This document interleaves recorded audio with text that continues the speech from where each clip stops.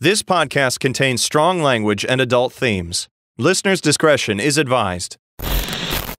Hello, and welcome to A Page Too Far, the show where each week one of us reads a book and tells the other all about it. Will it be bad? Will it be good? Let's find out. My name is Jason Voorhees, and this is my co host.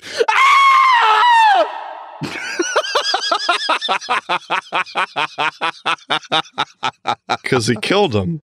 It's true. It's true. I really want to know what my face looked like when I did that. It it was pretty entertaining. I'm not gonna lie.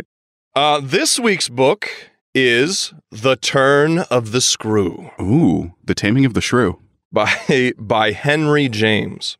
His name is Henry James. His name is Henry James. Okay, first off, Henry James is not a full name. There needs to be a third name Right. there, like Henry James Potter. It's two first names. That's a problem. Yeah, although it's Harry James Potter, but still.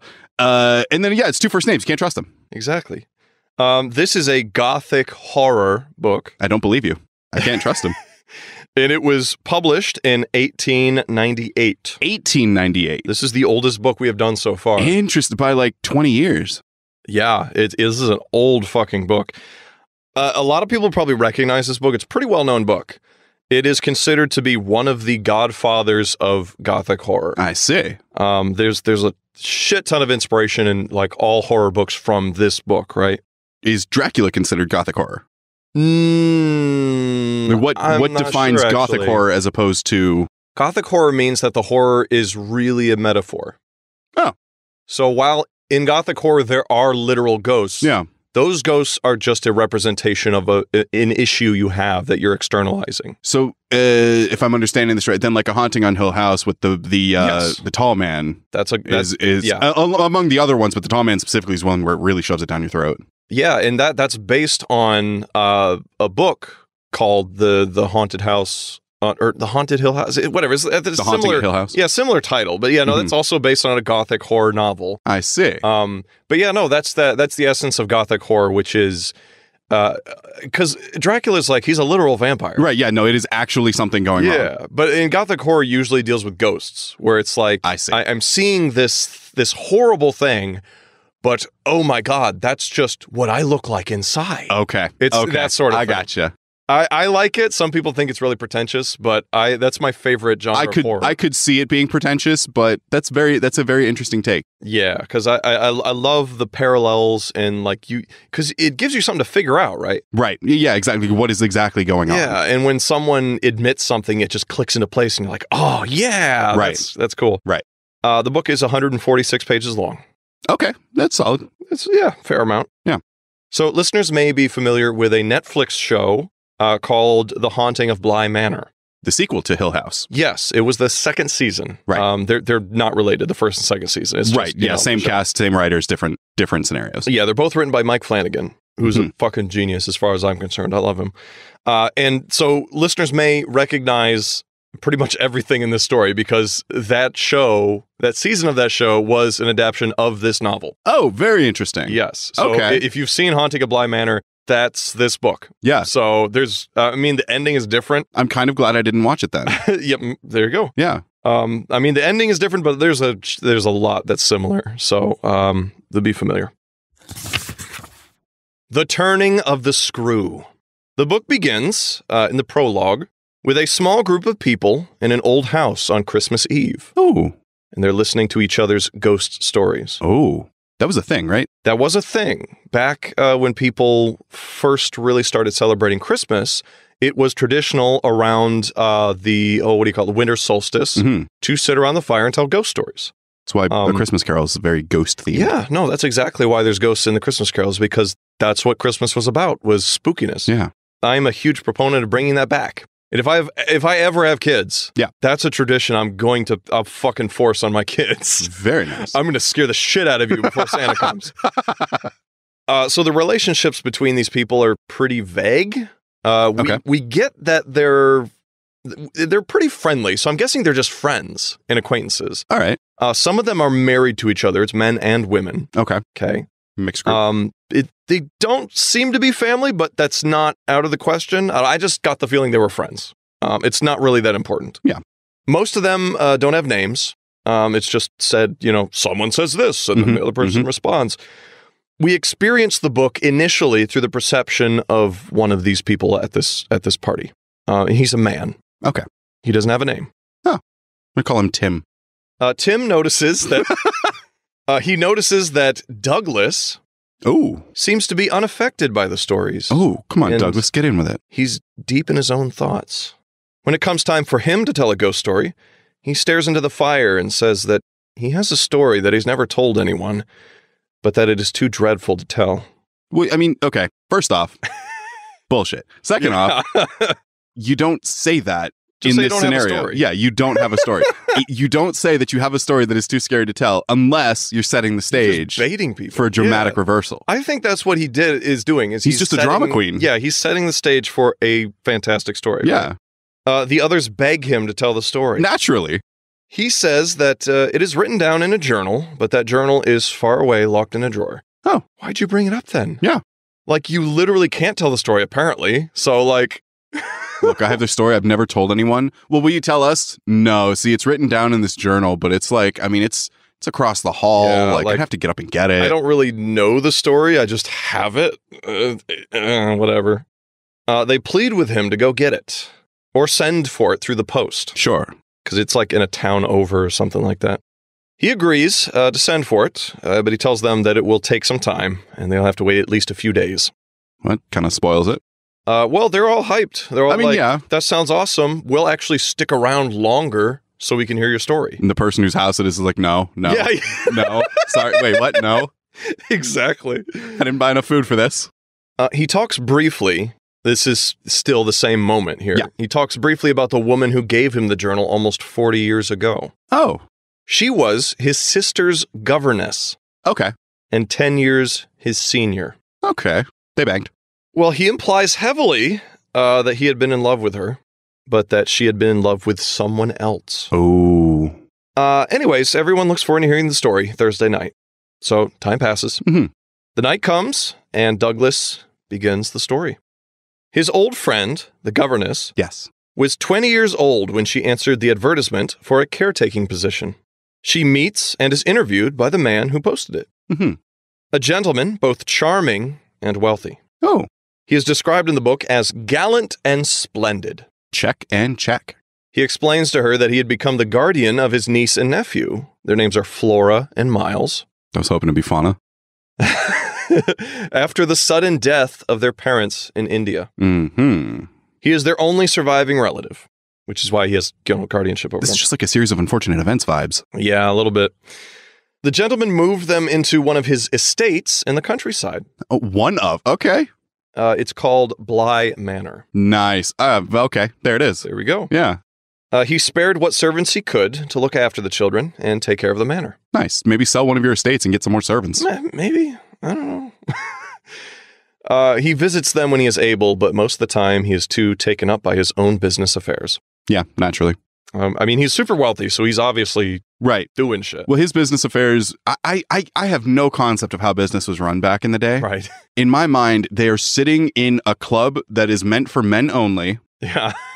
that like a Diogenes club that Mhm. you can't speak in, and everyone is just signing document after document and oh, just business, making business, money. Business, uh, business, Like business. I signed ten pages today, I made twenty thousand pounds. Yeah. So, something like that. He's this, this guy is kind of a mysterious character. yeah, He's just really wealthy. He has to take care of his niece and nephew, but he really doesn't care about them and he doesn't have the time. Right. yeah, yeah. Also, being a lifelong bachelor, he had no experience taking care of children. Sure. So he doesn't even know what to do. I mean that's fair. Do you need a newspaper in the corner? Like, leave out some kibble. I'll just come by and check it every now and then.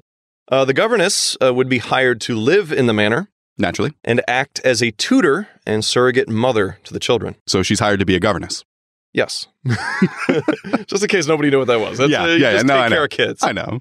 The gentleman explains that the children had had a governess already, Mhm. uh, but, she, but that she had died unexpectedly. Oh, There were other staff on the estate uh, two housemaids, a cook, a dairy woman, an old groom, an old gardener, and a pony. Is a Pony considered staff? I wouldn't consider it staff, but it says that. So Okay, nice. Uh, she could have the job on one condition. Ooh. That she never, ever see nor speak to him again. All right. Am I still going to be paid for this? Yes, she'll she'll be paid Sure, fine, done. because he has he has people to do that. For Yeah. him. Um, but that's the condition. All right. Don't don't come to see me. Don't speak to me. Don't write to me. I better not know you exist from this point out. Just do your job. That's fair. That's totally fair. To me, that's fair. So Yeah. sure, why not? I don't know if that's kind of weird in society back then, but I'd, I'd do that. Um, I mean, personally, I would I would just think like oh, that's weird, but who cares? Yeah. like I'm fine with that. Yeah. I'm fine with never talking to my boss. exactly. Uh, the governess hesitates out of fear of the mysterious death of the previous governess Naturally. because no explanation was given. He just said she's dead. Oh. And the isolation of the estate. It's way out in the countryside. Oh, I it's pretty see. far from any real towns. There's a village nearby, but it's not much, you know? There's like a post office Yeah. And a bakery, and that's it. a church. Uh, it would be lonely and dull work for her. I mean, you haven't even met the kids yet. I mean, In a position like that, the kids are what make it, right? Uh, mm, mm, mm. I feel like you need friends that aren't work colleagues. And out there, Yeah. she wouldn't really have any friends. That's true. And she wouldn't be able to leave the house for any reason. So, Man. And here in year of our Lord 2021, people are doing that voluntarily. but the job paid too well. And after a second interview, she accepts the offer. nice. Uh, so, this is where the prologue ends. And this is where we actually jump into the story. Ooh. From this point on, uh, everything is from the perspective of the governess. Okay. Okay. That makes sense. When the governess arrives at Bly, she is met at the door by Mrs. Gross, one of the maids, and Flora, the younger of the two children. I'm, I'm not going to make a comment on that. It's too low hanging. Mrs. Gross? Yeah. It's a little weird. Maybe it's Grose, like French. Is it G R O S E? Yeah. I would say gross. I would say gross too. I don't I don't know. Yeah. Flora is like eight or nine, Okay. and Miles is ten. Does she have long, straight black hair that hangs over her face down to her waist? No, she actually has blonde hair, Oh, but it is long. okay. Uh, she's a blonde, blue, blue-eyed cutie. Aw. Flora was beautiful and exceptionally charming little girl. Her brother, Miles, was currently at boarding school and would return at the end of the week The I- holiday. ideal situation for a governess. Hey, take care of these kids. One of them is going to be gone for half a year. Yeah, it's nice, right?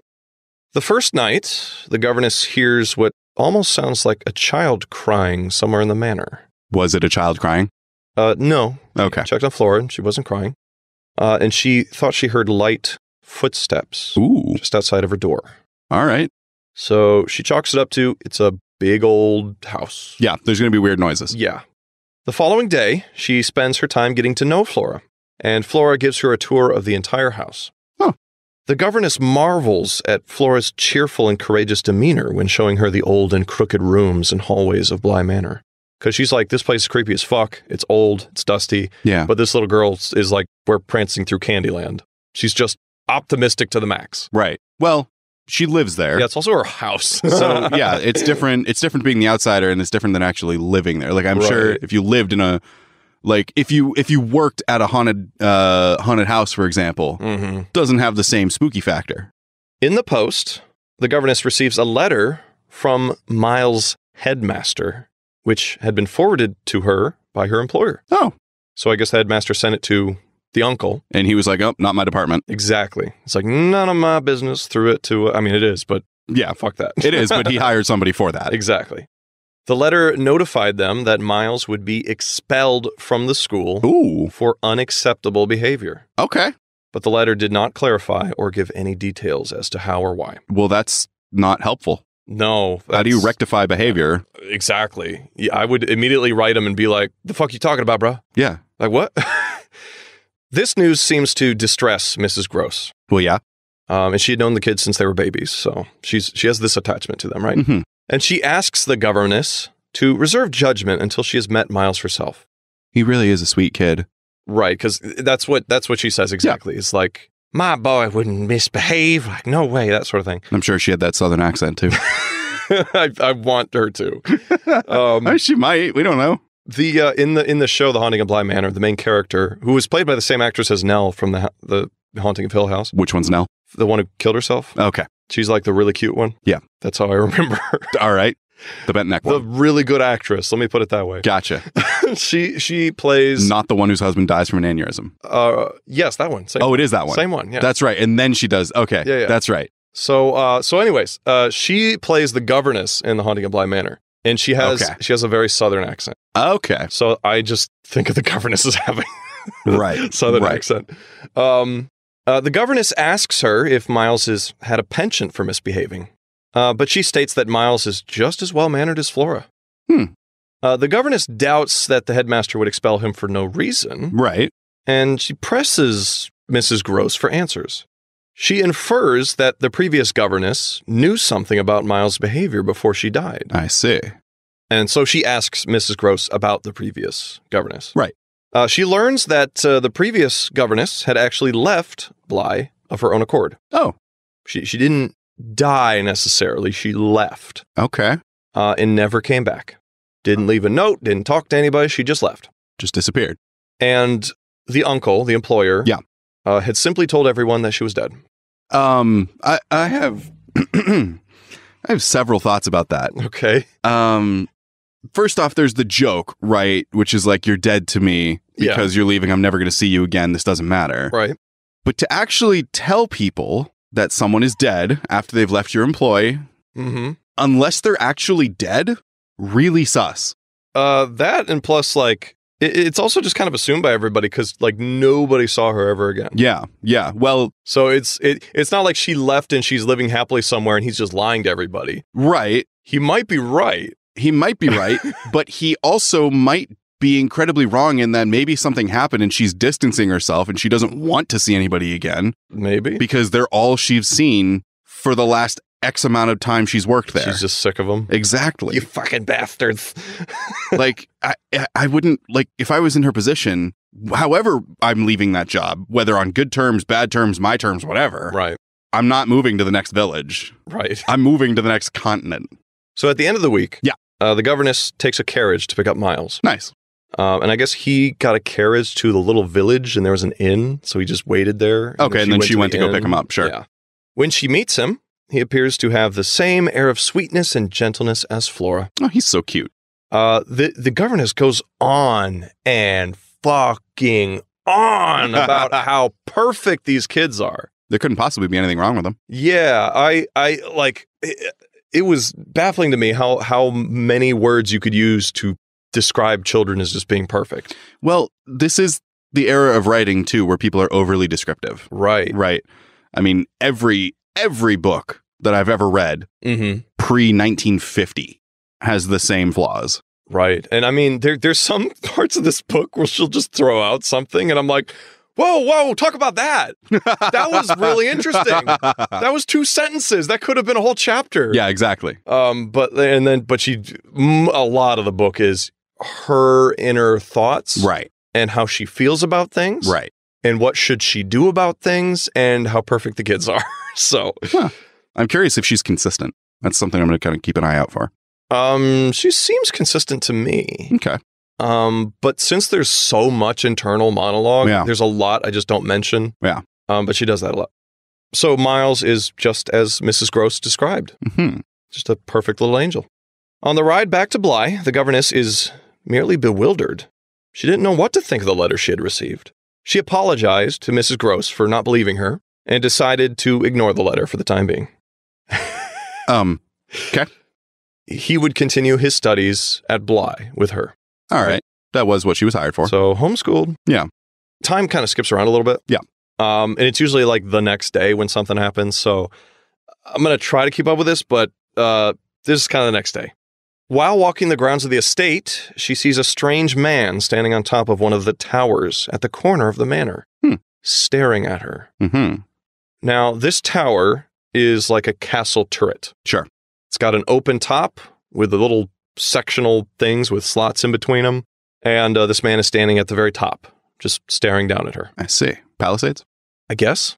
It's said in the book, but it was a word I'd never seen before. Yeah. And I didn't write There's it down. there's a name for those specific Yeah. things that I didn't. I refuse to remember. C'est la vie. She did not recognize him at all. Right. Has she met all the staff at this point? Yes. Okay. She's met everyone. And everyone and anyone that is on the grounds or comes to the grounds, right? She met the pony. She met the pony. She so she didn't recognize him at all. He definitely wasn't a member of the staff Mm-hmm. or anybody she had met in town. She realized that while they stared at each other, all the sounds of birds or wind just fell silent around her. Oh, that's interesting. And he's like, "Hey, how's it going?" He said that? No, he doesn't say that. I'm just Oh, saying, okay. a joke. Okay. Okay. I'm just picturing a staring contest. Basically, no, they just stare at each other intently. But after a minute of this, uh, the strange man steps backwards from the ledge of the tower and out of sight, Mm-hmm. all the while not breaking his gaze from her. Well, that's creepy. She also makes a, a fucking. She also makes a note here where she says, "And he wasn't even wearing a hat." Oh. Which, Oh, why I do declare. which it, I mean, this is a thing. Back in the 1800s, if you were not wearing a hat, people just assumed something was wrong. They were like, "Are, are you hurt? What, what- what's going on? What's wrong?" It's Like- just it's hot out. It's just, I mean, it I was very, very, very unusual, My head's hot. men and women, to be outside without a hat. That's very interesting. So this experience kind of shakes her up a little bit. Well, yeah. Naturally. Uh, she feels confused, curious, and kind of dread all at once. I would ask somebody. Uh, she supposes that the man might be an insane, unmentionable relative confined to the tower. That does happen in books like this. That's it's a long time ago, so that's a possibility. Except he's clearly not confined because he can walk up onto the turret. But But if he can walk up onto the turret, he could leave. well, no, there's no way down from the turret. There is there are several ways down from that Well, you turret. could fall. You could climb. Uh, mm, I, Mm-hmm. mm, If you're they're, determined enough. they're pretty sheer. I don't know. I mean, we don't know that. we we can't see it. She eventually writes it off as a mere intruder who had not the discretion to avoid being witnessed. Maybe tell somebody. Maybe. Maybe tell anybody. Maybe ask somebody. Uh, she begins locking her door at night just in case. That's fair. She hasn't, I- she hasn't told anybody yet. But I still agree with that. Um, over the next few days, she thinks about the letter from Miles' headmaster. Uh huh. She can't believe that such an innocent minded boy could have been acting wickedly. If he was misbehaving at school, he would surely be misbehaving at home. Not necessarily. Yeah, no, I definitely. I was like, I mean, he could just be putting on a front for you. Yeah. that's that happens a lot. Totally. Uh, she decides that Miles is too fine and fair for the school world, and the headmaster must have been acting vindictively. God. I. Uh, that's not a commentary in the state of our educational system today. I mean, I will say it's a male author. Yeah. From the late 1800s. Yeah. He could just be like, this is just how women are. Maybe. they're just, Maybe. they're stupid. Yeah. I, I don't know. On Sunday, it rained so hard they could not attend morning church service. Oh, man. That's pretty hard. Yeah. F- I mean, fucking, my mom wouldn't care. Yeah. She no. would have been like, "No, we're going. You're waterproof underneath all those clothes." Yeah. like, come on. Um, they decided to wait and attend the late service when the rain had stopped. Oh, nice. While serving tea to the children in the dining room, she notices a pair of gloves sitting by the window, Oh.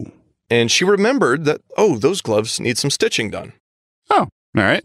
She walks over to the window to retrieve the gloves, and upon standing back up, she's looking right into the face of a strange man looking through the glass. Horrifying. Yes. That's a jump scare. yes. His stare was just as intense as before. Like camping. It was the same man.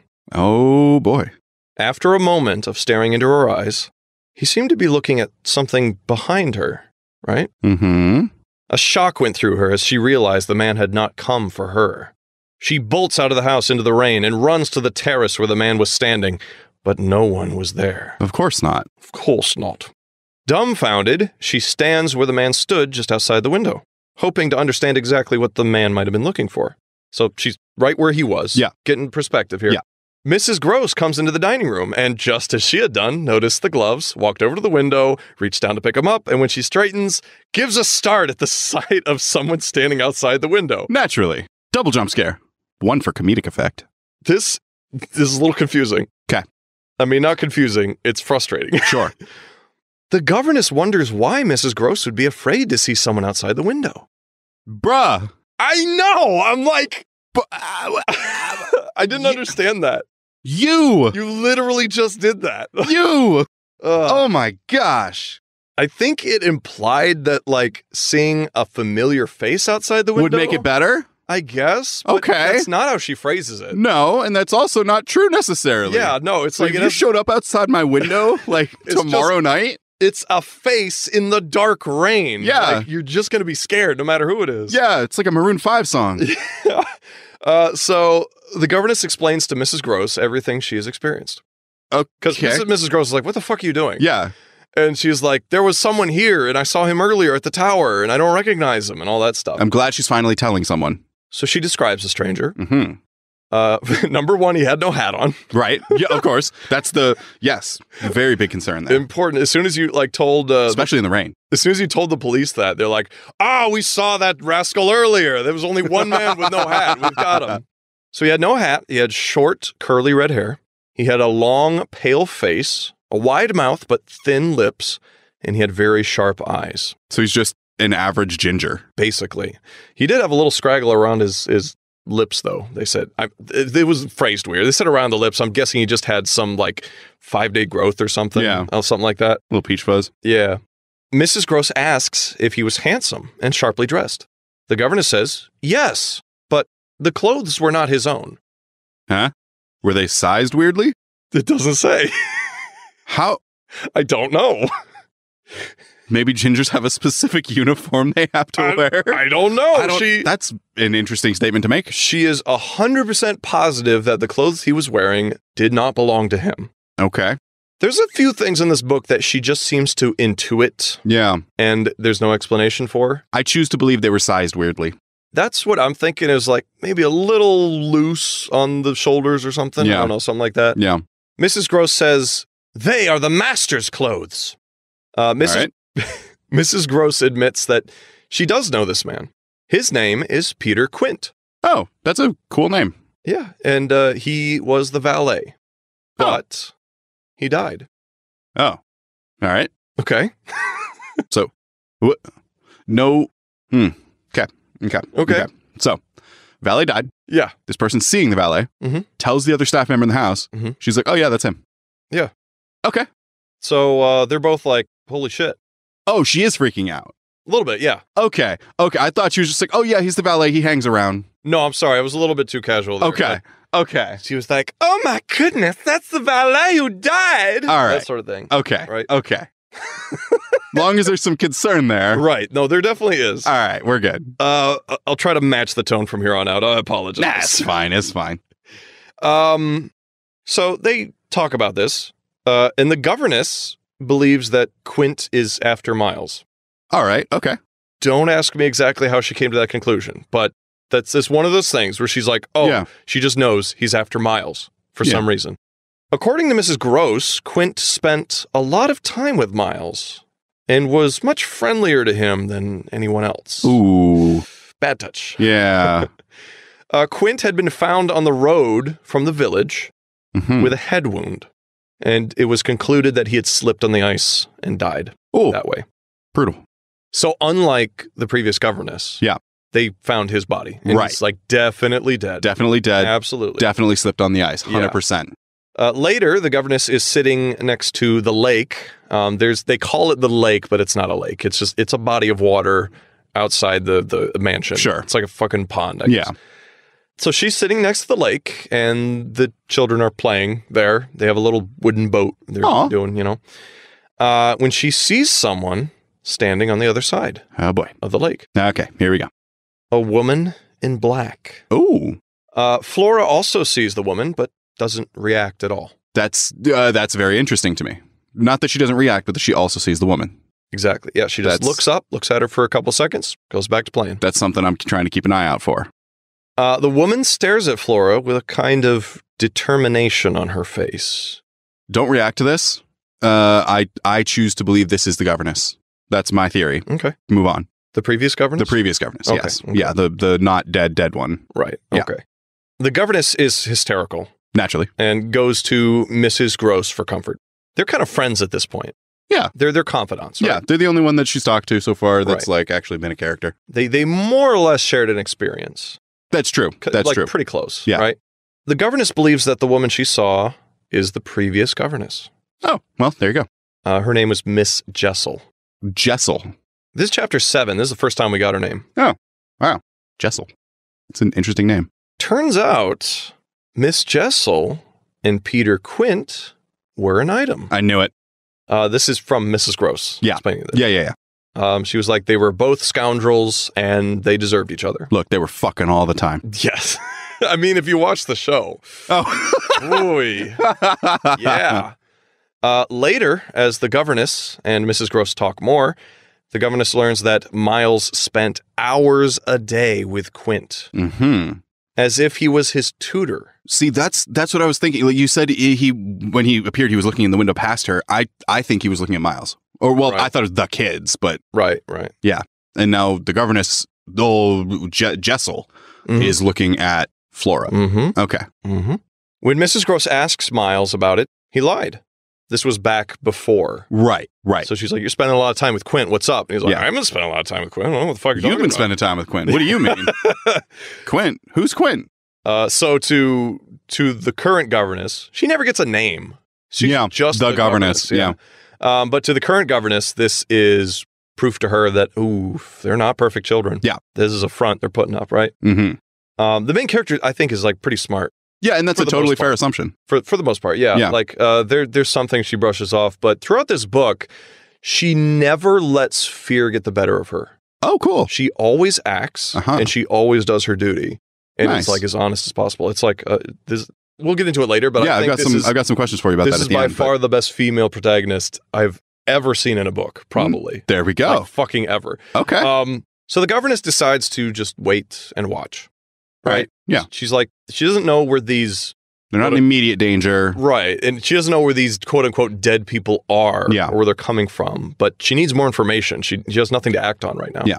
She would study the children, especially Miles, and keep an eye out for the supposedly dead former employees.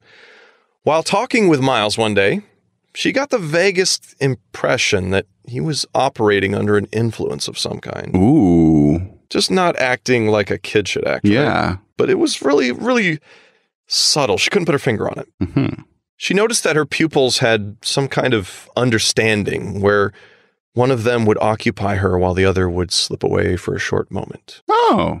That's not nice, like no. reassuring. That's very. That's very interesting. That's concerning. Yeah. uh, they're they're really running a uh, they're running a bootlegging operation in the basement. Yeah, There's yeah, like yeah. Step away, make sure the brew's good. exactly. Why does the whole house smell?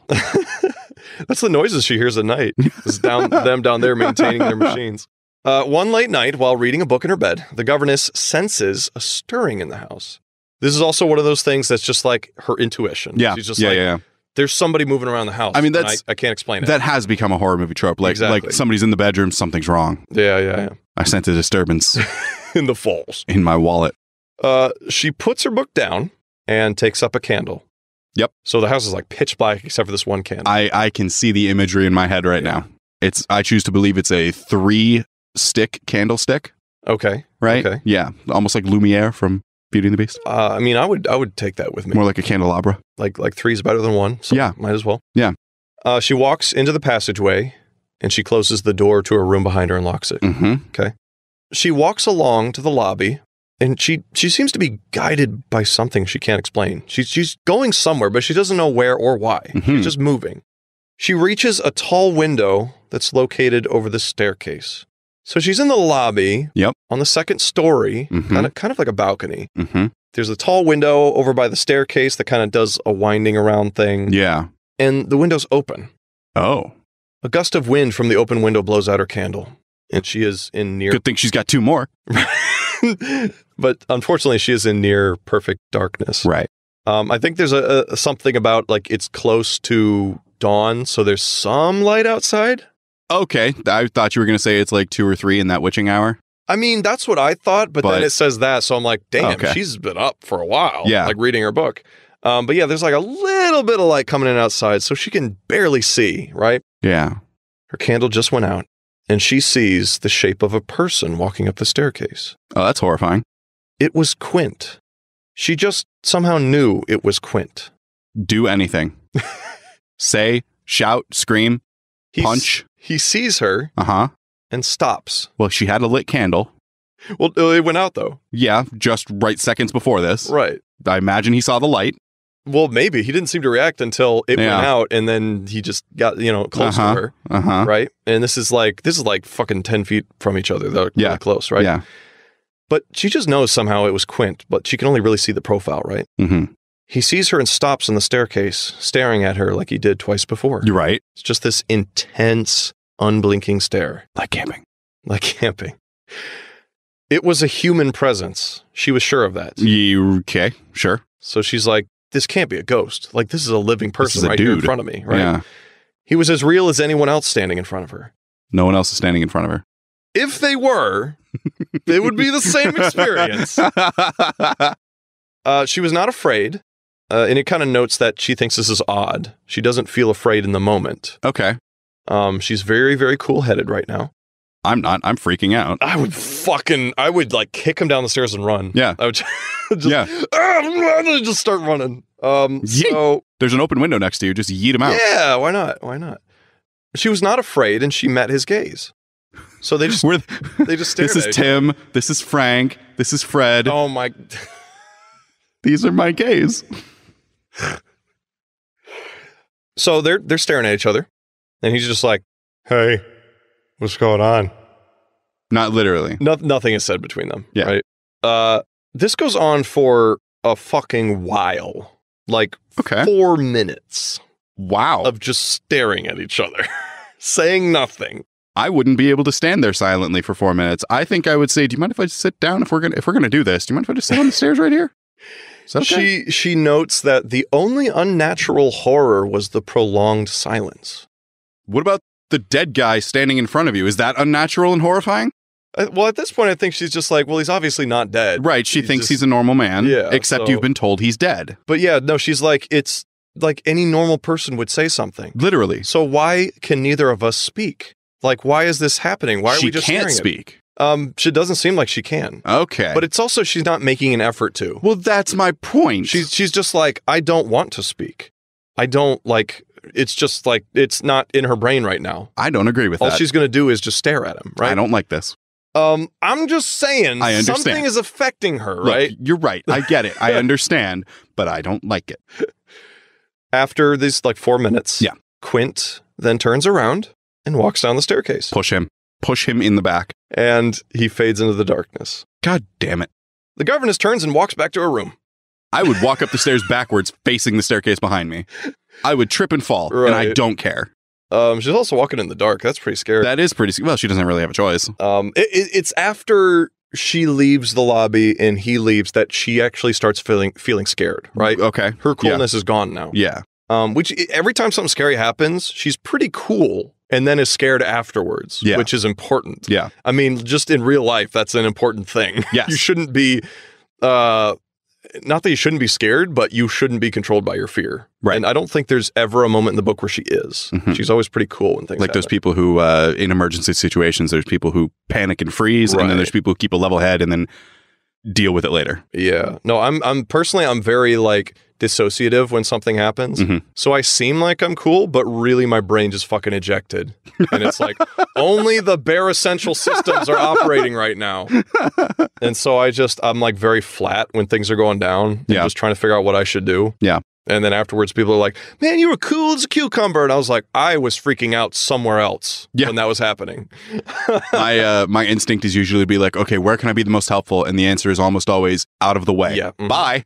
So she turns to go back to her room, but on the way, she passes Flora's room, and it's this thing where like the bed has this little curtain that goes around it. Yeah. You know, yeah. Yeah. old rich people things. Yeah. And the curtain was in place, but she could see that Flora was not in bed. Oh. I think it's kind of like an like a, a, a what do you call it? opaque Mhm. curtain or something, so she could still see through it. Yeah. But there was nobody in the bed. That would be translucent. Whatever. opaque means solid. Yeah, fucking, I don't, whatever. She was standing by the window. Flora was. Well, that's how you know she's not in bed. Yeah, there you go. so well, she had to walk into the room. And Oh, I her. see. Okay. Um, but she had, she was like behind the curtain, so she could see her little feet. Oh, yeah. So it was like she was hiding, but she was facing out the Right. window. She's a, yeah. Yeah. So it was a little, little weird.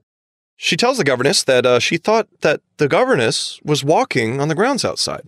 Oh. That's why she got out of bed and looked out the window. Right. Well, I bet the governess was walking on the grounds outside. Just bet it wasn't our governess. uh, the governess asks Flora if she saw somebody walking outside. And Flora says, uh, no. Just thought you'd be out there. Just thought for some reason you'd be out there, you know? Okay. All right. so uh, the governess is li- like, okay, now she's lying to me. Yeah. Like, this is ridiculous. Uh, this is where it just kind of mentions some shit and doesn't go into detail, but it says later at another time, I saw what appeared to be the woman in black sitting at the foot of the staircase, sobbing into her hands. Hmm. Anyway, let's move on. That's where I was like, God damn it, tell me about that experience. Yeah. Come on. Exactly. Uh, and it also says that she just disappears, but it doesn't elaborate. It doesn't say if she fades away or if she turned her like head for a second and looked back and she wasn't there. That's what I choose to believe happened. That's what I think happened, yeah. but it doesn't elaborate. It's just like, oh yeah, I saw her on the staircase and she was gone. she didn't feel so good, Mr. Stark. So Flora continues to like stand by the window at night, Mhm. right? And the governess keeps like peering in and seeing this, What right? you doing?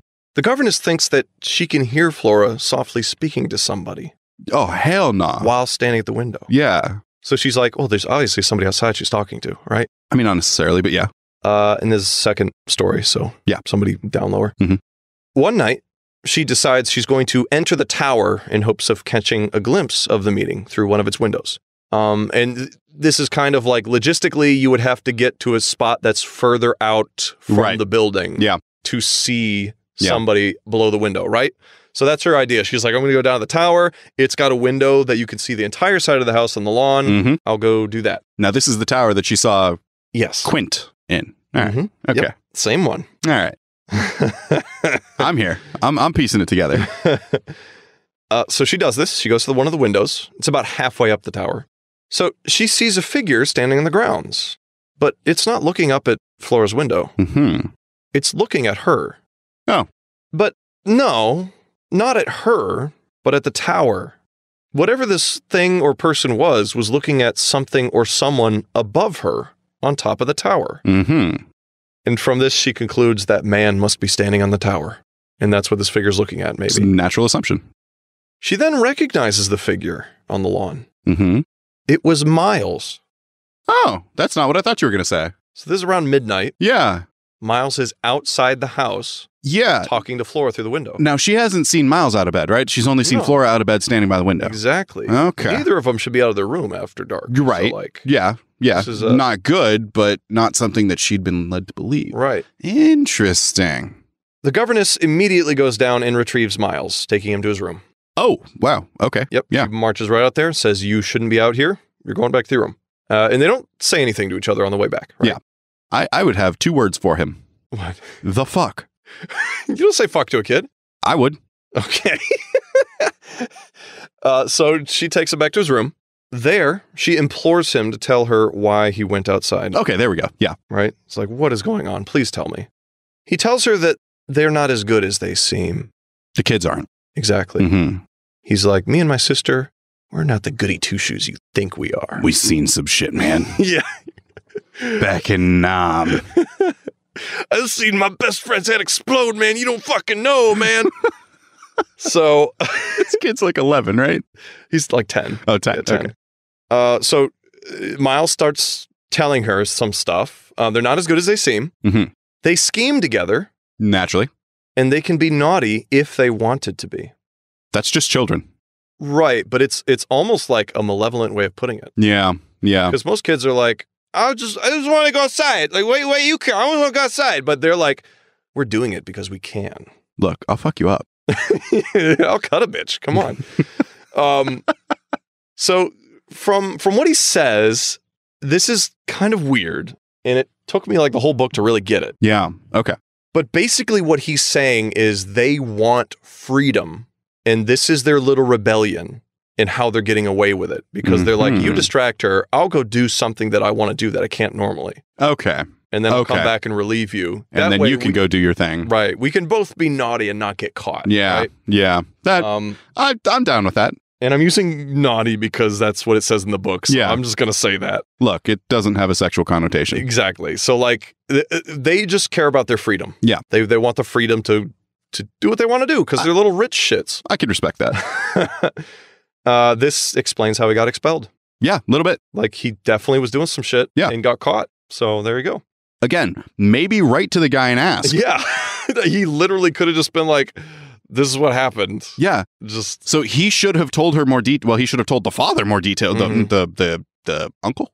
Who was the he? uncle, uncle, yeah. Uncle should have told the uncle more details. But then when the uncle passed it off to the governess, she should have written him and asked for more details Mhm. because literally do anything. Right. Take care of the kids. Yeah, don't just assume they're angels because they're not. Right. No matter what. No Look, kid is an parents, if your teacher tells you that there's something wrong with your kid and your kid's misbehaving, don't take your kid's side for it. Right. Listen to what the teacher's saying. Yeah. At least at least consider it. Come on. Exactly. Exactly.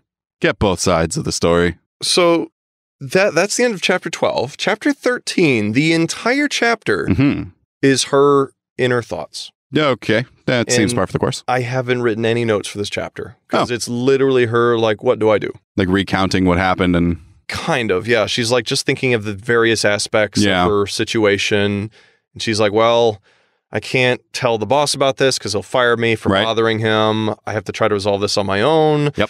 Maybe I should write to the school and ask them. I don't know. you should have done that ages ago. Yeah. That Uh, shouldn't even be a question. So that's all chapter 13. It's chapter 14. The governess has a conversation with Miles one day as they walk to church. Uh huh. This is some days later. I'm not sure how much longer. More like Sundays later. Yeah, so, something like that. Uh, and she notes that every now and then he will say something that just has a catch to it. And and that's not how we would say something has a catch to it. What she means is something catches her attention. So there's there's a little hitch, right? Hey, I was riding horses one day, and you know we were just taking them out of the field. Anyway, do you like the taste of blood? Anyway, we Yeah, were just like- going on, and it was kind of cool, but it was like a really hot day. That I mean that's pretty much that, except like way more subtle. Yeah, He'll just say like a word that's a little odd, like how do you know that word? Or like or uh oh there's a there's a the, one of my favorite words is in this book which Ooh. is uh lugubrious Ooh, lugubrious. lugubrious i love that, that is a good word. um but he'll, he'll the way he talks is just a little odd Yeah. And she still can't put her finger on it but he's doing it more he's calling her my dear Oh, I hate it. i i do too at first she's like oh it's endearing Literally. Yeah That. that Yes. uh but yeah no he'll just be like oh well whatever is the matter my dear Okay. which i was over immediately Uh huh. I was like, Uh-huh. fuck off, dude. Yeah. um, but every, things he will say will just prick her mind in an odd way. Uh, he asks her if his uncle thinks about them the way that she thinks about them. I have no idea. I met him once, and he told me not to talk about you. Uh, well, she tells him, I don't think your uncle cares much at all. That I agree. Miles tells her that he will make him care. Oh boy. All right. Okay. I And- will make it legal. And there was uh, there was a little bit between Mrs. Gross and um, the governess, which I didn't write down, which is like because the, the governess is like we we need to get the uncle the you know the master they call him. Yeah. We need to get the master here to talk to his kids, Right. Because I, I don't think we're going to get through to them, Right. And so here Miles says, "I will get him to visit Bly." Ooh. He's very like confident Yeah. in his ability to do things. Yeah. What's the phrase? Cocksure? Yeah. So the governess sees this as an ultimatum because she her options were to write to the master, Yep. tell him what's going on. Uh huh. Which she was explicitly told not to do. right. But if she doesn't do that, Miles is going to do that. That's in, fine. in either case, she could be fired because he doesn't he doesn't want to be bothered, even if it's his niece and nephew. He does not want to be bothered. So if she permits that to happen, he might just fire her. All right. Okay. That doesn't So- sound like the worst thing in the world to me this at this point. But the way he says it to her is like he knows her situation. I see. So she sees it as an ultimatum Yeah. from Miles, Yeah. his 10 year old. Well, it's like, if you're not going to say anything, I'm going to say something and we'll see what happens. Right. The goofy, I'll fucking do it again. yeah. He's, he's kind of power tripping a little bit, A little bit. but he's doing it to where he has like full deniability. Right. He's just in a way that's I didn't mean that. Nah. or, or like, oh, yeah, it's just something like that. Yeah. So th- this is a little confusing, but she decides that she should just leave like quietly. That's fair.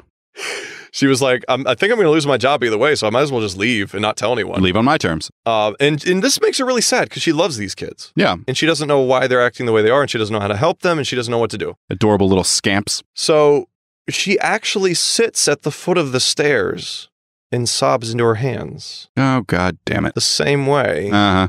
the other figure did. Yeah. Hmm. Mm-hmm. As she walks to the doorway, All these squares make a circle.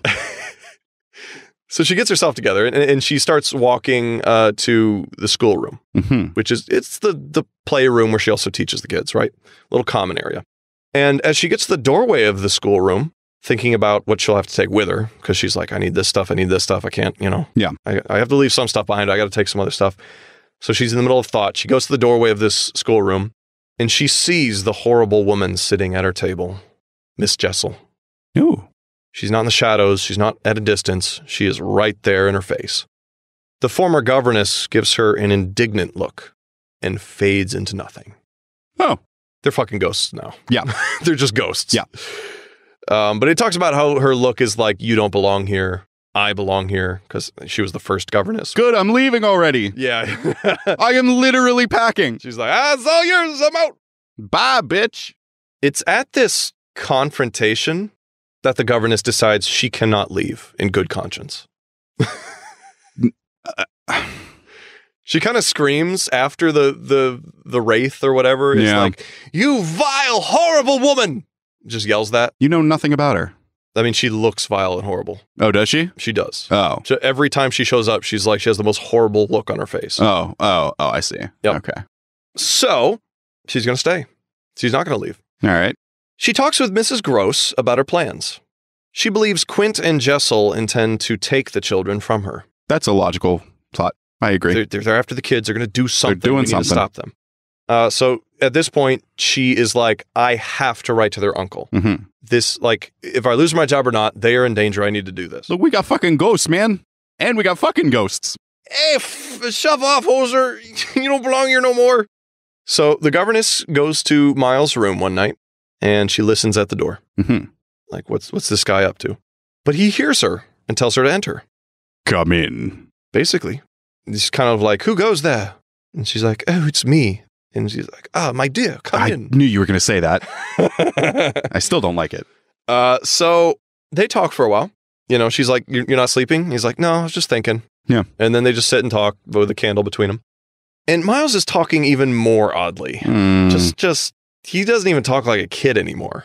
He just talks like fucking of an adult man, yeah. for instance. hmm all of a sudden, in the midst of their talking, I think she asks him a question that, like, it, she makes a note of she overstepped her bounds and just asked a really bold faced question. Oh. But as soon as she asks that question, a cold gust of air blows the window open and the, s- the candle snuffs out. You ever dance with the devil in the pale moonlight? He's like, What'd you say to me, bitch? the fuck I am the me? now, this is the creepiest part of the book. Ooh. So they both shriek. Yep. They're in darkness. Mhm. The governess kind of composes herself and says, Oh, the candle has gone out. Clearly. And Miles replies, It was I who blew it out, my dear. Oh, yeah. uh huh. Uh huh. Go on. That's the end of that. Oh. Um, it cuts to later. What? Like the next day. Yep. That's bullshit. That was the creepiest part of the book to me. It's like, what do you mean it cuts? you can't cut there. Yep, that was the last sentence of that that p- chapter. Henry, I knew I couldn't trust a man with two names, two first names. Uh, so later, like the next day, uh, the governess is with the children in the schoolroom, and they're just dazzling her with their comprehension of geography and mathematics. She's like, "These are just the most perfect, smart little kids Aw, ever." they're they're still creepy as fuck. Right, but they're just they're really smart. They're really fun.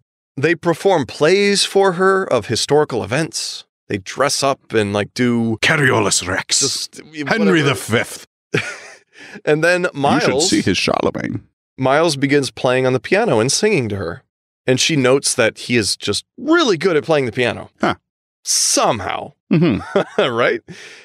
And then she realizes that Flora is not in the room. Yep, he's distracting her. And she doesn't know how long she hasn't been in the room. Right. Because she has terrible situational awareness, even though they told her what they were doing. I mean, it's two fucking kids. There's Yeah. one door. yeah. like, I'm saying. it's not hard. they told her their plan. Right.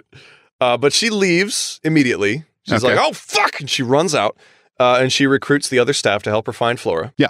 Uh, and after some time looking, she realizes she's made a huge mistake. Because now Miles is gone. Exactly. She's like, that's what they wanted. Yep. They wanted me to leave the kids alone, Yes. To have their way so that they could be with Quint and Jessel. Yeah. Okay. That's a thought. That's a leap. It's, well, that, that- she's making a connection between the ghosts and these kids, Yeah. right? They Yeah. seem to be fascinated with them somehow. Um, The governess kind of feels that Flora must be somewhere away from the house. This is another moment where it's like nothing, it's based on nothing. It's just intuition. It's her maternal instinct. Right. She's like, she's definitely away from the house. And the other people are like, how could you possibly know that? And she's like, I know it. So she convinces Mrs. Gross to go with her Mhm. outside the house to search for Flora. Will you go with me? So they run to the lake because Flora enjoyed spending time out there. Uh, okay. Mm-hmm. And they see that the boat is missing. Uh-huh. Uh-huh. It's out on the lake. It's not out on the lake, It's not out on the lake. it's completely gone. Oh. Yep. It's under the lake. They search around the water's edge. Uh-huh. They're also searching in the water because they're like, did she drown? Yeah. Like, what, what's going on? They eventually make their way to the opposite side and they find the boat. It had been dragged out of the lake Okay. over land Mhm. and hidden like behind some trees and shrubs and stuff. Oh. And they're like, like, how could she move that boat on her own? Mm-hmm. There's no way. Mhm. Um, but they they assume that since she stashed the boat at that particular spot, she must have gone through a gate that was right there. There's like a fence and then a gate Yeah. with a path. And they're like, she must have gone through there. The gate's wide open. It has to be there. So they run down the path and uh, they do find Flora. Oh. She's just kind of standing, watching them as All they right. approach. And she has a weird, like, fern in her hand. Flora has Flora? Mm-hmm. yep. Uh, and and as Mrs. Gross like comes up to hug her, she kind of drops it. I thought that would be important later, but it's not. What? Just holding shrubbery and it's fine? yeah, no, the fern had nothing to do with anything in the end. So Oh, okay. that's just a that's a little tidbit for you there. Um, Mrs. Gross is kind of crying as she's hugging Flora. Yeah. Um, there's a lot of crying in this book. Seems like it. but like she's like, "Oh, I can't believe we found you. You're so far away from the house. Like we were afraid for you." But as the governess sees Flora's head over the shoulder of Mrs. Gross, Mm-hmm. she has a whole different look in her face. Hmm. There's something in Flora's eyes that tells her that all pretense is gone. Oh, it's on now. Yep. She asks Flora, "Where is Miss Jessel?" Mm-hmm. Straight up. At that time, she spots the woman in black, Jessel, Mhm. across the water on the far bank of the lake. Back where they were before. Exactly. Yep. Same situation, opposite side. Yep. Right. Looking down at Flora, she was horrified to see that Flora's face was all of a sudden twisted and hateful like an old woman's. That same expression. She now understands why Mrs. Gross said that Flora sometimes looked like an old woman. This is a little out of nowhere. I think it's mentioned like halfway through the book. Yeah. And then they don't talk about it. So I'm like, I guess that's a figure of speech from back then. right, But right. then later it's like, oh no, she literally looked like an old woman sometimes. Oh. and she just didn't think to talk about that. All right. Okay. Yeah, all right. That's fine. she cries out, saying like, "Ah, the old woman! She's across the lake! Look!" Like that. Yep. And Mrs. Gross says, "What? What?" Bitch, listen. And she's like, "The, the old woman right there that I saw. I, I've been seeing her. She's right there." And Mrs. Gross is like, "There's nobody there." Mm-hmm. Mm-hmm. Mm-hmm. Mhm. Yep. Mm-hmm. Okay. Yep. Mm-hmm. Yep. Uh-huh. Flora then starts rebuking the governess. The governess. Oh. She's saying, "You're cruel. I hate you. I never want to like be around you ever again." Stuff Oh. like that, right? Nice kid. Yeah, just all of a sudden. Yeah. Mrs. Gross, looking rather dismayed, Sure. picks up Flora and takes her back to Bly. And she kind of gives a look to uh, the governess, like, yeah. "I'm not sure what's up, but You sort yourself out. yeah, we're gonna go. Yeah. Um, we'll we'll deal with this a little later, right? I Yeah. just want to make sure she's okay, We'll, we'll talk about this. right? Which Put is, a pin in it. It's, it's kind of heartbreaking for the governess because she was like her her confidant, her friend, Yeah. Yeah. Yeah. and she doesn't believe her. So the governess collapse in grief for a few hours. All right. That's a long time. It is a very long time. But she's crying because she doesn't know what to do now. Maybe find the other kid. Um, maybe, but eh. Okay. I mean, he calls her my dear all the time. He does. I would just be like, if they find him, they find him. yeah. No big loss. So she's lying there crying, and then it's starting to get late. The sun's starting to go down. So she gets up and heads back to the house. She goes straight to her room and changes out of her dirty clothes. Uh, it's around 8 p.m. Mhm. She's sitting in the schoolroom at the little hearth. They have their little fireplace. Aw. She's drinking tea by herself and Yeah. just in thought, like, what do I do? As she's sitting there, Miles standing at the door. Oh. He doesn't say anything. Okay. But after a little while, he comes in and sits next to her. Creepy. They don't say anything Mhm. at all. Yeah. They just sit there next to each other, Yep. just thinking. The following morning, Mrs. Gross enters her bedroom. Uh, so she, Mrs. Gross enters the governess's bedroom Okay. Yep. Yep. uh, and tells her that Flora has become feverish and hasn't slept at all. She- Oh. she's sick. Yeah. The governess believes that the illness is related to the proximity with Miss Jessel, right? Sure. It's like that ghost is somehow making her sick now. Okay. I, I'm with it. She doesn't voice this to Miss Gross. She's right. Who doesn't like- believe her? Right. So at this point, she kind of realizes that the children kind of have leverage over her now. Yeah. A little bit. Because Miles has the whole expulsion thing that Yeah. she didn't tell the employer. And now Flora got out there and got sick because the governess wasn't watching her. Right. So now they both have a way of getting her fired. Right. Uh, and she, this is like dawning on her, like, oh, I might be fucked. Mhm. Like these kids. You you already knew this and we're packing to leave. Right. Like this is not your situation has not changed really. Just your perception No, of it has. Right. So so she thinks that these ghosts want to get rid of her and they're using the kids. I agree. that, right. I I that, yes yes that is a yes. The governess believes that uh, it may be too late for Flora, but Miles still has a chance. Right. She needs some milk. And, and Miles may want to talk about it. Oh, has he ever wanted to talk about anything? Well, he he's very chatty. hmm And he talks about some things, but he's always always very careful not to say the wrong thing. Exactly. Right? Exactly. But he definitely really likes the governess. Oh, okay. And, Okay. and he enjoys being with her and talking with her. My dear. So, so the governess is like, that's my only option. Yeah. Is I have to get through to Miles and try to help him. hmm The governess asks Mrs. Grose to take Flora away from Bly. She's like, look, she's sick. Just take her to a doctor in London. Just, you know, Yeah. get, her away from the place. Like, if I could ask anything of you, just get her away from this house. Yeah. Um, and you can bring her back in a couple of days if she Change of scenery should do her some good. Uh, and at this point, Mrs. Grose kind of confesses that even though she hasn't seen anything, she has often heard horrible things come out of Flora's mouth. Oh, A great time to talk about it. yeah. Um, and she's like that no little girl would say anything like that. Like she used the N word. what nincompoop? Yeah. Oh my god! So yeah, just hor- like the Exorcist type shit. Yeah. Yeah. Mother sucks cocks in hell. That sort of thing. Did you ever watch The Exorcist? No. If you watch it now, it's probably just hilarious. Yeah. But I watched it when I was like, I was still a teenager and I was still like super very much Christian, and it Mhm, scared the mhm. shit out of me. Yeah. Um, because you know you believe that demon possession is real, so it's like it's terrifying. Right. Right. So Mrs. Grose is on her team now. And all it took was what? I, I don't know. Nothing from Mrs. Grose's perspective, nothing changed between I, I, Flora screaming you're a terrible person and now. I think it, it's like something she must have said something during when she was sick that cinched it for her, right? It could be that. I think it also it it could be that the governess has shown that she really does care for the kids by telling her to take Flora away. Right. It- it- something like that. So something has shifted where she's like, I have to tell you this. Yeah. So I, I think there's something going on here. I don't know if what you're seeing is real, but something is happening. Right. So, Right. Okay. so the governess had written a letter to the master about everything that had happened. Yeah. Uh, but the man responsible for taking the post to the village never got the letter. Oh, nice. Of course not.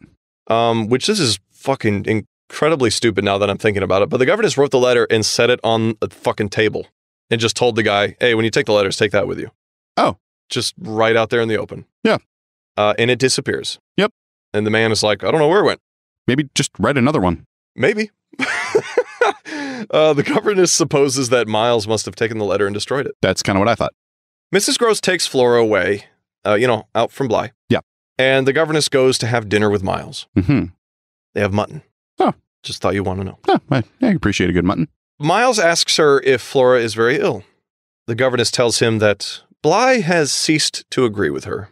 And Miles asks, Well, why so suddenly? You know, because she's lived here her whole life. Why is it now suddenly becoming an issue? Maybe because there's two ghosts that y'all are hanging out with. She says, It's not as sudden as you might think. Hmm. This has been uh, In the building, works. building for a while. Yeah. And he says, Well, if it's building for a while, why didn't you do something sooner? It's a very, very cat and mouse thing where it's like, Yeah. we're just kind of talking, but we're saying other things, right? Yeah. Yeah. and uh and so they do this for a little while and then they just start like they just in silence they're just eating uh and then miles stands up and he walks over to the window with his hands in his pockets and he's just Mhm. staring out the window Mhm. and then the maid leaves the maid that was serving them leaves Right. And Miles turns around and he says, So, we're alone now. You like sucking dick? she says, Not exactly. And he says, Well, of course, we have the others, but they don't really count, do they? We saved a seat for Jesus. Miles faces, so he's still facing the window. And then he says, Well, I'm glad that Bly Manor agrees with me. Oh, Super creepy shit. yeah, a little bit. So they're they're going back and forth. That, that those were the lines I really liked. But then they they still you know go back and forth, go back and forth. Yeah. And it's this whole mental game of trying to get information from each other. And it's it's one of the more fascinating parts of the book, the way it's written. It's like super super clever, I think. And it's described in the book. So I kind of have to explain the relationship here Okay. because I haven't really talked about it much. Pausers. But throughout the book, they have this relationship building. Miles has a romantic love for the governess. Right. It's kind of obvious. Right. The governess has a love for Miles in the way a mother or an older sibling has, Or a governess. or a governess, yeah. So the book describes their conversation as two fighters who care about each other too much to strike too close. Mm-hmm. So they're kind of dueling with their questions and answers, but they're not going hard because they don't want to jeopardize each other's like situation, I guess. Sure. It's kind of hard, kind of hard to explain, but like, You literally threatened her earlier. but well, that's that's the thing that that wasn't really Miles. Miles doesn't want anything to happen to her. He wants her to stay. Quint wants her to leave. Oh, I see. That's the situation. Okay. So he's talking to her, and it seems like Quint is pressuring him, but he's trying to keep that at bay and just talk to her honestly. Okay. But he just can't talk to her honestly. Right. Right. And she wants to help him, but she also wants to deal with this motherfucking ghost. Yeah. So she wants to be tough, but she can't be too tough. Yeah. Tired So- of these motherfucking ghosts and my motherfucking Bly. It's a really delicate situation. Miles is like on the edge of a, a knife. Like it could go either way. Right. It's not sure. Right. The governess wants to know what he's keeping secret, and Miles wants her to stay. Sure. That that's their goals. They gradually through their conversation come to understand this about each other. Mm-hmm. So they're like, we're, we're not enemies. We're you I want to stay, you want me to stay. I want to know what you know, and you want to tell me. So just tell me. Exactly. They just gradually come to this. But at that moment, at that very moment, Oh man. the governess sees Peter Quint walk up to the window on the outside. He just walks in stage left, turns, and is just glaring at Miles, Oh. Just boring holes in the back of his head. Yeah. I'm just imagining that Peter Quint is like pounding on the glass saying, Oh, you little bastard, don't you fucking tell her shit. You hear me? Don't tell her a thing. Now you said the back of Miles' head. So is Miles facing away from the window? Right. He's now facing away from the window. Okay. And they're talking. Okay. Um, and this, th- I didn't write a whole lot down because it's just, it's a lot of drama because the governess is like, please talk to me. Like, Yeah, I'm begging yeah. you. And then Miles is like, I can't. I just can't. Like, it, it, it looks like he's in pain when he's Yeah. talking, right? There's this whole supernatural struggle there. And it's, you could almost see like a cord connecting him to Quint, right? Mhm. Eventually, Miles admits to taking the letter. And he's like, Okay. I, I took it and destroyed it, and I shouldn't have, but I did. Right. And I don't know why I did, but I did. Okay. So chalk went up. We were right. hmm And then he tells her about why he's he was expelled from school. Now he tells her, but he doesn't fucking tell her. Oh. this is the most frustrating part of the book because she's like, "Why'd you get expelled from school?" And he's like, "I said some things to people I liked, and then they spread it around, and then the headmaster found out." But we don't know what those things were. I'm gay. So maybe I don't know, but fucking he said some shit. That shit went around. Yeah. Shit always comes back around. Yeah. Yeah. so yeah. he got expelled for saying that shit. Interesting. But of course, it wasn't him saying it. It was probably Quint Right. because he Right. wanted him at Bly Manor. Right. Right.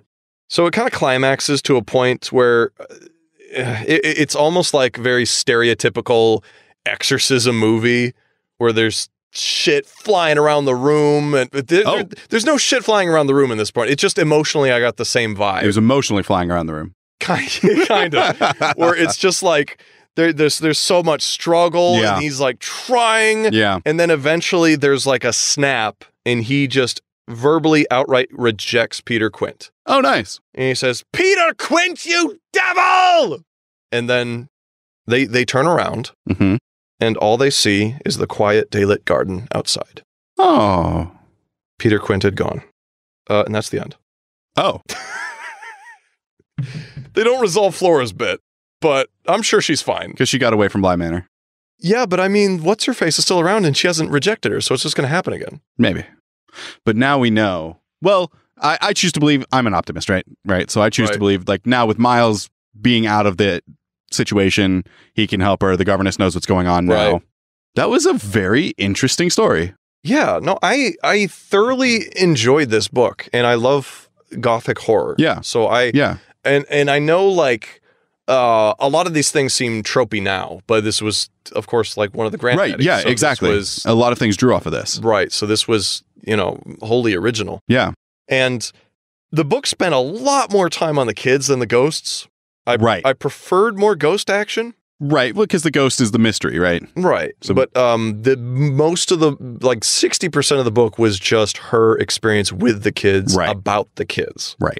Which I didn't find all that interesting because there's a lot of flowery descriptions of how wonderful they are. Yeah. But but I love the writing of like how creepy they say some things.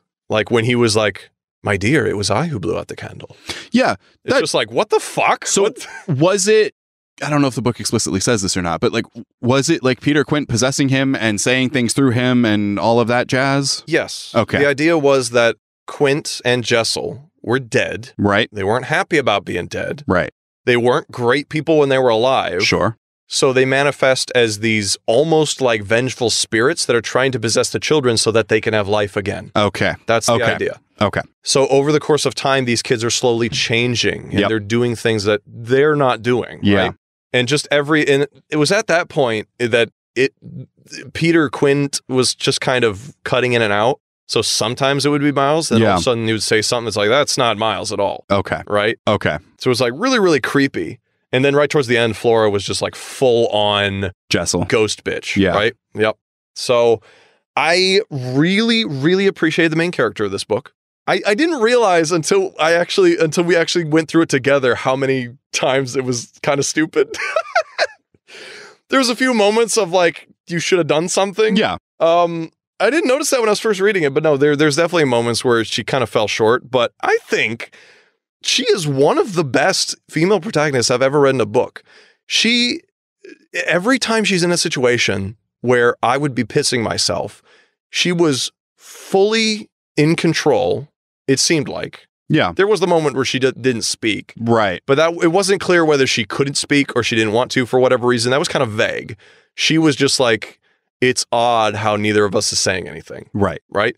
But anytime the ghost shows up or something happens, she just acts first and feels later. hmm And th- I think that's just awesome. That's like the epitome of courage. It's like Yeah. your, your fear is not controlling you and it doesn't ever stop her.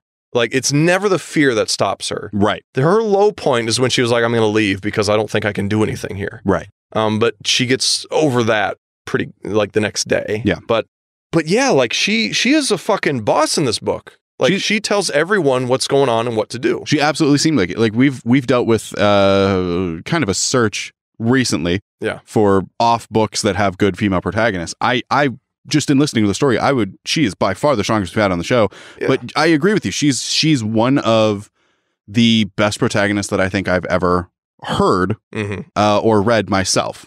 Um, there's a few that I can think of that I have thought of since before, but I mean, she did her job, like you said, and she kept her head, and she wasn't a stereotypical depiction of an 18th century, or well, I guess what 19th century, Uh, yeah, late 19th century. late 19th century, um, female who screams, puts her head hand on her forehead, and faints. Right, exactly. Like, which is which is kind of what I was expecting. Yeah, and she she put all the pieces together herself. Yeah, yeah, yeah, yeah. She was alone in that, and Yeah. she got it figured out from what people had told her, just kind of piecing it together. Right.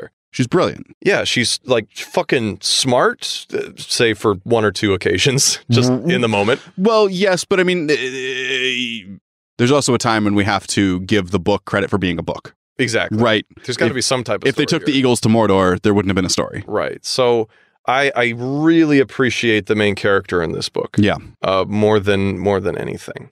Uh, and the spooks were great. The descriptions, like when she's walking down the hall with a candle, Yeah. fucking scary. Just the description of where she's at, Yeah. and it's like, oh, I loved it.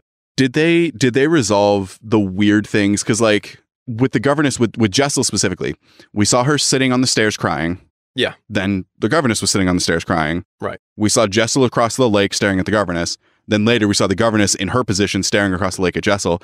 Right. Like, was it ever resolved that it was her seeing herself, or is it just happenstance? No, I think it was just just a parallel. Okay.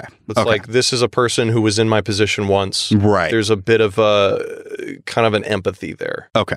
Okay. Um, I think that makes that's, sense. That's all that was. I didn't think that was trying to be something deeper. Right. Because now, I mean, nowadays you have to one up it and everything like that. Yeah, like, so that would be. That was her. Yeah, exactly.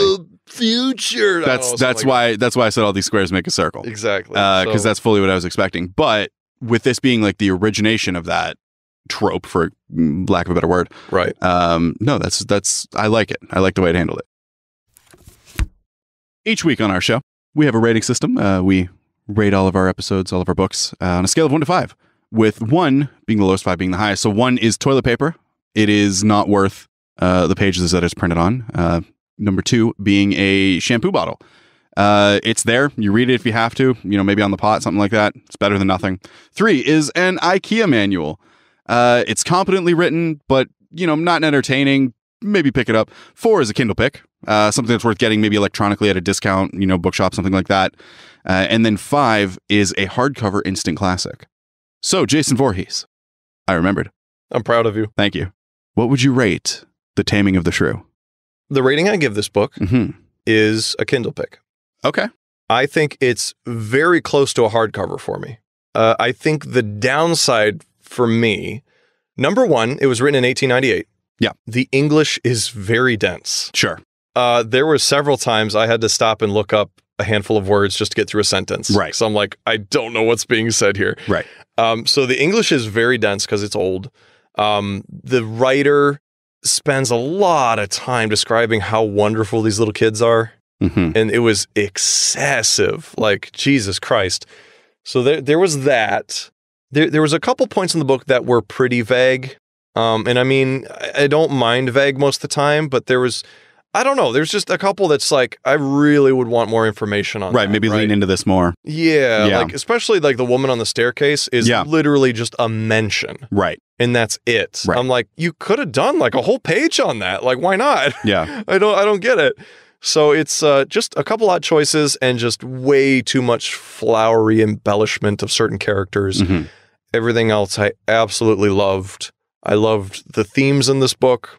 I loved like the ghosts themselves. Yeah. They were pretty creepy. Yeah. I think the dialogue for the kids was actually pretty good.